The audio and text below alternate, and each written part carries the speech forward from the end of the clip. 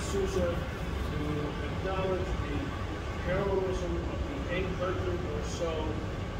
uh, ambulance personnel in World War